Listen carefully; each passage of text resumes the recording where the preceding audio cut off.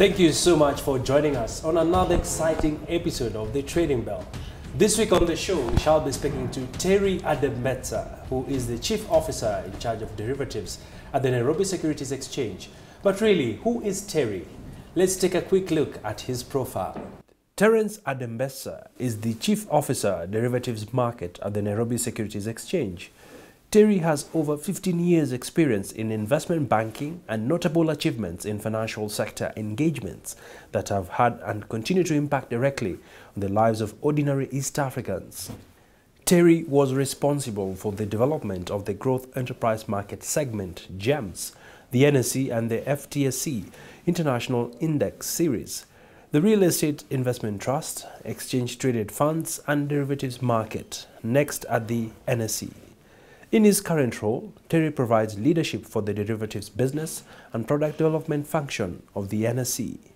Terry was responsible for the development of the Growth Enterprise Market segment, the NSE and FTSE International Index Series, Real Estate Investment Trust, Exchange Traded Funds and the Derivatives Market, next at the NSE. In his current role, Terry provides leadership for the derivatives business and product development function of the NSE. He serves as a member of the Executive Management Committee and its subsidiary company, NSE Clear Limited, and as the Secretary of the NSE Board of Directors Derivatives Oversight Committee. Terry is also a board member of the Association of Future Markets, representing Africa and the NSE. Yeah. Thank you so much, Terry, for making time for us. Thank you. Thank Such you. a pleasure to host you on pleasure. the program. Pleasure, Aby. You are the man that is spearheading this great initiative known as the derivatives trading.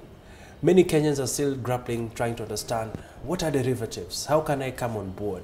No mm. one seems to be breaking it down for the common man mm.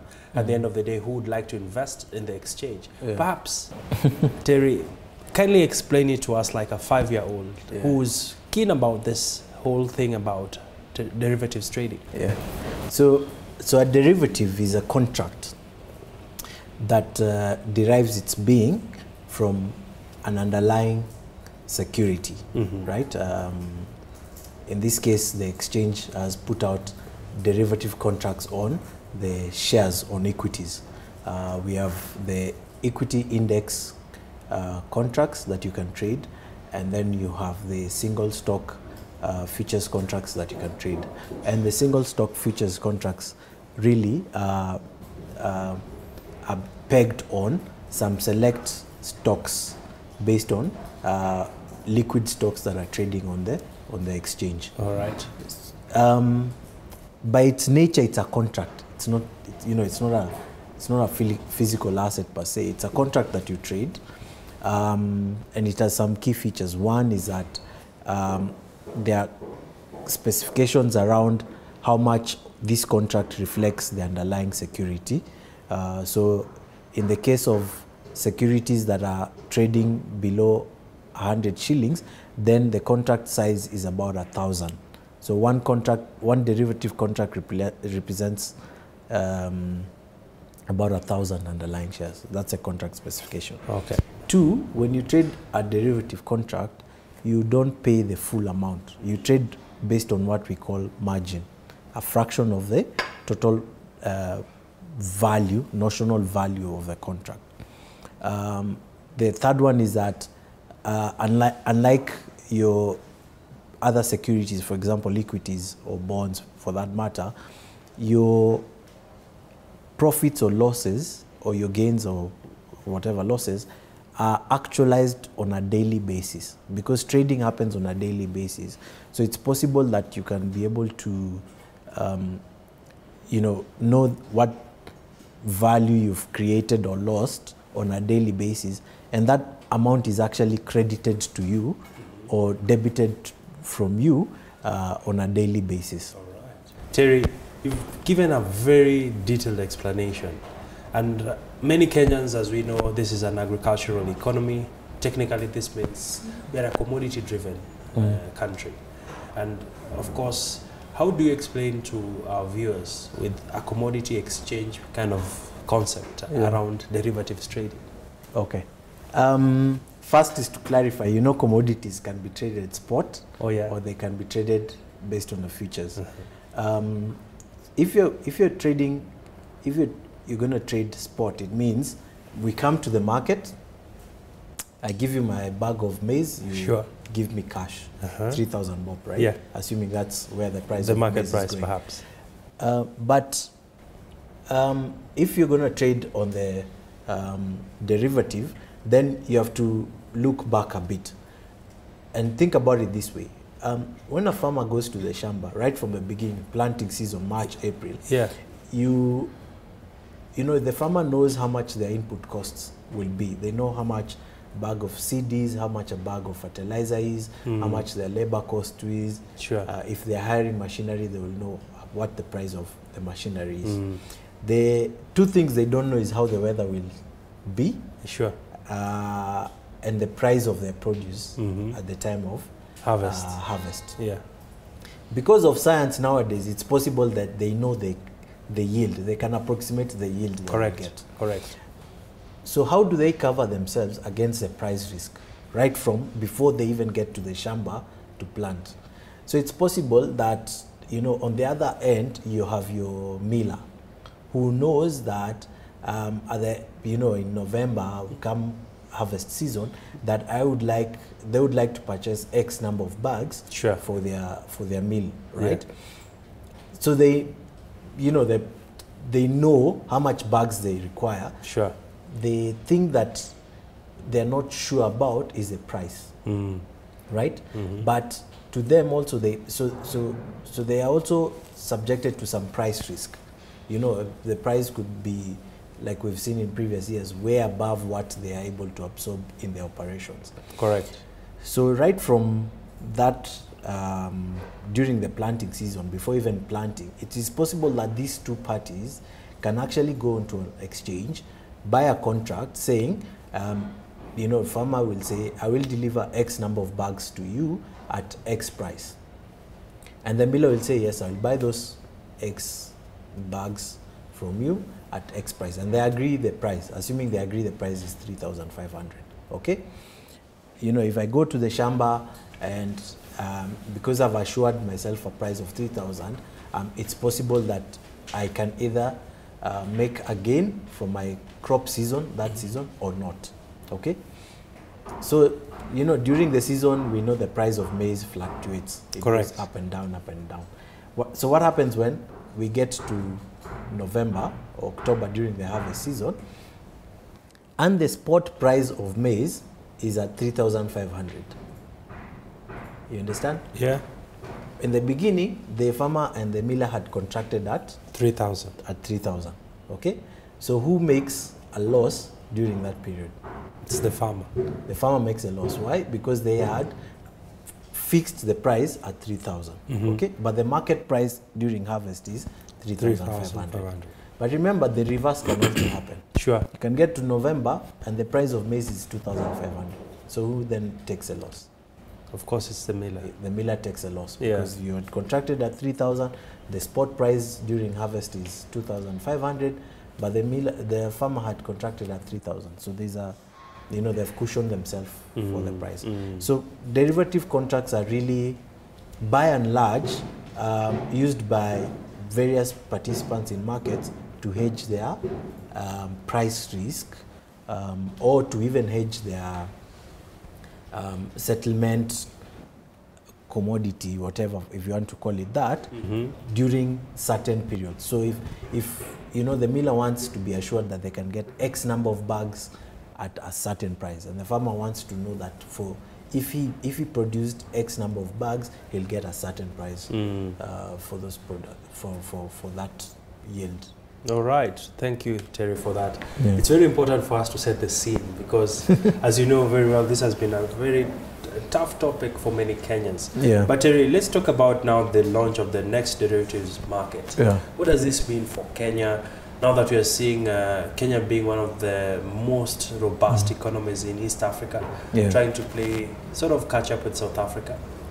Um, the development of uh, derivatives markets in, in, in Kenya is really a big step towards the enhancing our financial markets and growing our capital markets.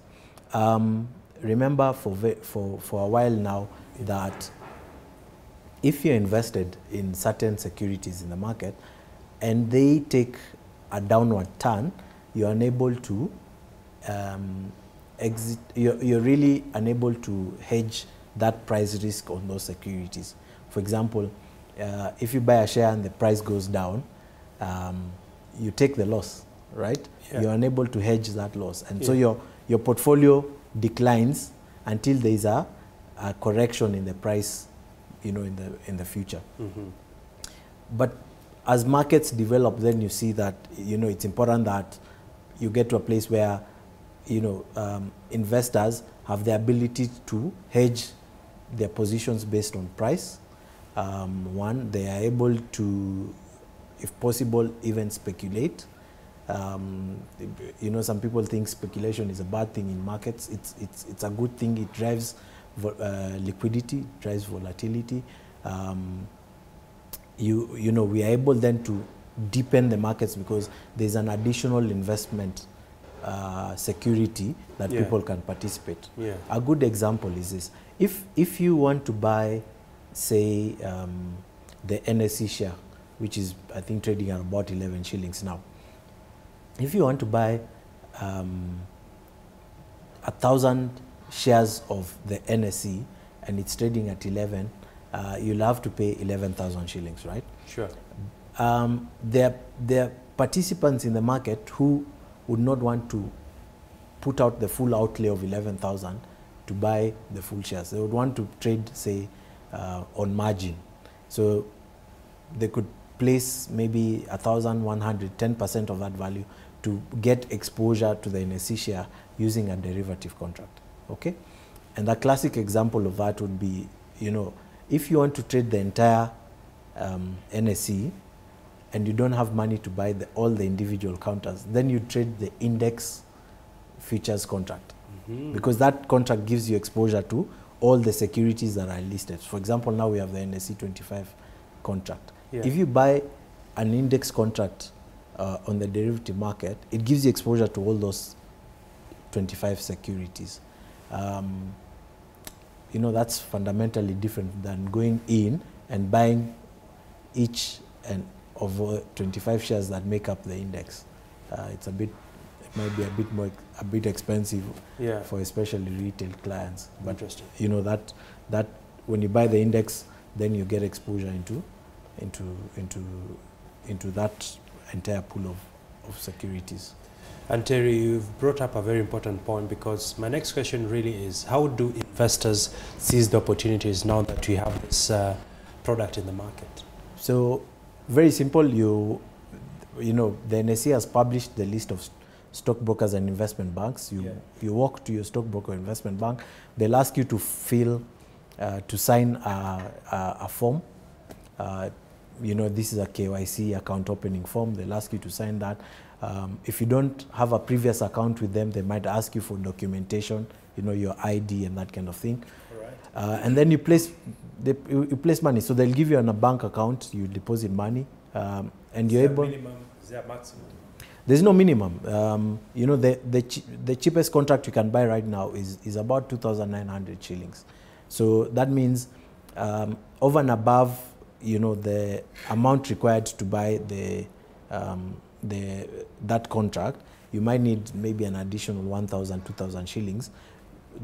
Because remember we said this is this is a market where your profits and losses are actualized on a daily basis. Mm-hmm. So as you trade your broker should be in a position to fund to just pull you know credit money from your client account Yeah. and in case you're the loss position Yeah. take that and then pay back or when you make money then they take that and credit your account so there's always a you know like your cash exactly happening in your account. Sure. So the additional buffer is just to ensure that your broker is managing the ability to be able to raise cash from you as and when the contracts are traded on a daily basis.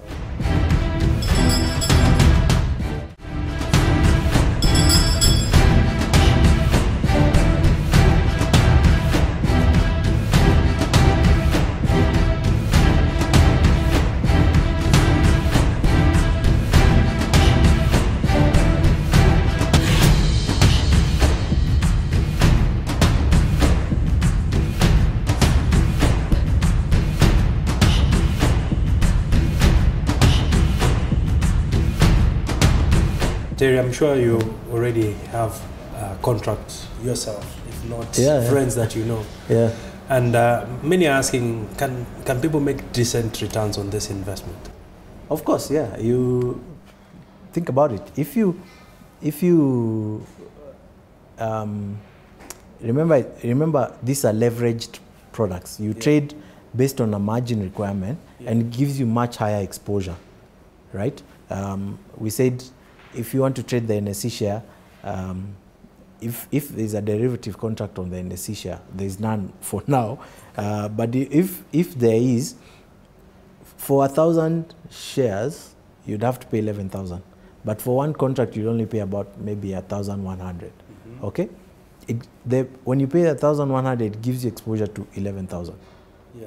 right? Now, and this is the thing about leveraged uh, products. If the price moves by a shilling, assuming you are long, you you know you, you are positive on that Yeah. contract, if the price moves by a, by a shilling, you make a thousand shillings. Yeah, clean. If it goes down, you lose a thousand. Right. Yeah. So you see, leverage products are able to give you the ability to make, uh, you know, a large gain or, or uh, vice versa, also a large loss. So it's important also clients understand, you know, what what kind of um, movements prices are. Uh, they be, properly understand the product, understand how markets. Uh, they can view the prices how they are going. They are talking with their investment bank and stockbroker to advise on on on uh, research around counters and uh, research around how market is doing. They're getting regular updates so that their investment bank or broker is then telling them when to when to go long, which is which means to buy, Yeah. or when to go short, which means to uh, to sell.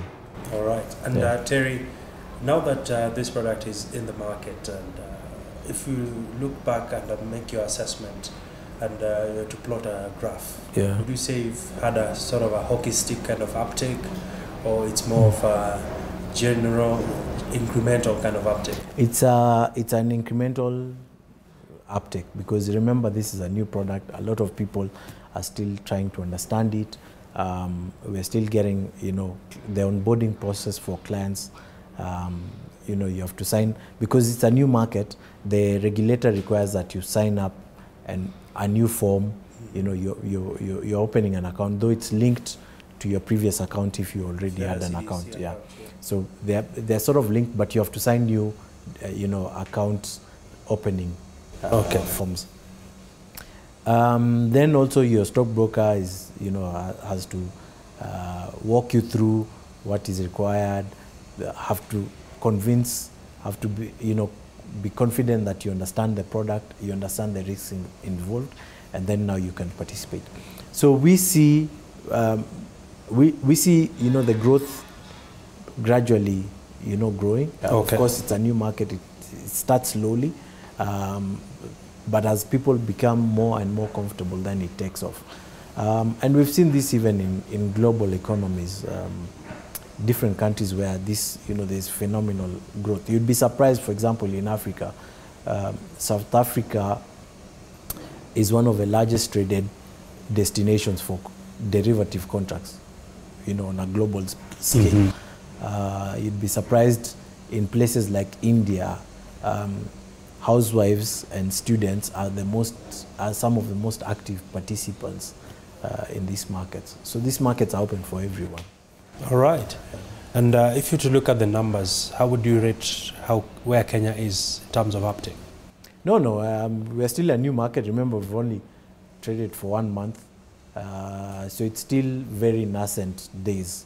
Um, it, will take a bit of time for us then to look and say, okay, where do we um, scale in terms of um, other uh, global markets? Mm-hmm. Yeah. And uh, in terms of uh, comparatively, and uh, when you look at what is in the horizon, um, what's your general sentiment? No, we have we have we have very good sentiment, uh, very good feel from market participants. Um, what is interesting is the interest coming from retail clients. Um, we initially thought that this would be an institutional product, uh, but there's you know there's very good uh, interest uh, from retail clients. They're asking, okay, what is this product? How do we participate? Um, they seem to understand. You know, some of them seem to understand. Remember, there's a whole growing uh, pool of, um, uh, you know, investors who nowadays are spending like their whole day trading forex and global securities and that kind of thing. Uh, so you're seeing a, quite a bit of interest with that target pool of investors. Um, it's a good thing. It's a good thing that we have done this. Remember, this is the second market in Africa after South Africa. Um, given our scale of our economy, so it should take it should take time for for for you know for us to scale to levels where then we are saying we are we are you know you're comp- you can compare us with other global markets. Sure. Remember, the capital markets in the region are not as fully developed as, as the Kenyan markets, but they are growing.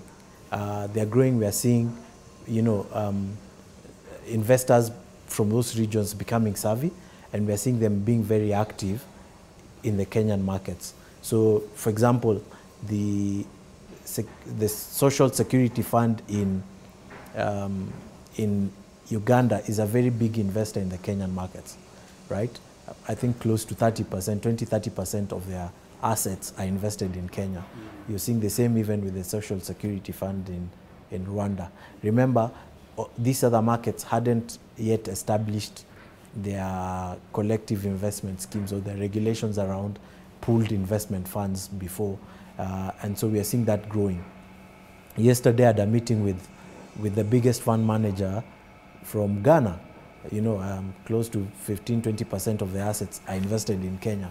Uh, so we are seeing, you know, uh, a lot of interest from the region in the Kenyan markets. It could, it could be a confidence factor in terms of, you know, we have much more established, um, we have much more established um, corporates are much more established capital markets. Uh, they feel they have, you know, there's some sort of sense of security in the assets uh, traded here. So the opportunities are there for all those investors. All right. Yeah. And Terrence, as we wrap up, of course, uh, one of the big conversations right now is the stability of the capital markets. Mm. We've seen uh, the currency really uh, taking a very interesting turn. Yeah. Where two weeks ago it was crossing 104, Yeah. and uh, of course the NSE 20 has also been uh, battered for Yeah. the last few months. Yeah. From where we sit right now, are we in a good position? Are we likely to experience another round of volatility? Um, I think it's I think it's a fact of what's happening on the global space. Um, if if you're following the global markets, you'll see, you know, the the in the American markets, for example, you know, there's all this uh, Trump effect. There's a noise about China. China and the US. Um, the yield curve in the US is inverted, which is, you know, uh, throwing all these uh, warning signals. You know, like your two-year paper and your ten-year paper are around the same yield, so it's it's creating a concern with with investors. And remember, um, 70% of market participation in Kenya is foreign, right? Yeah. So even the, if, if the foreign clients are having, you know, um, jittery sentiments around their home markets, it would apply that then wherever they're invested outside here, um, for example in Kenya, they would be jittery as well. Um, so we, you know, we, we have to take um, cautious view of uh, and be cognizant, you know, of what is happening in the U.S. markets, and that has a direct impact onto the Kenyan markets. All right. Terry yeah. Ademesa, thank you so much. Thank you very much. Shooting from the hip, not mincing any of his words. Well, of course, a lot of optimism around the derivatives market in Kenya, as you've heard it from the man who's steering this ship here at the NSE. And of course, uh, we shall definitely be keeping an eye just to see how the market picks up and whether or not we shall be able to see an upward trajectory around derivatives trading. Well, that's where we wrap it up for this week's episode of the Trading Bell. My name is Aby Agina. And of course, let's make a date next week, same time on KTN News.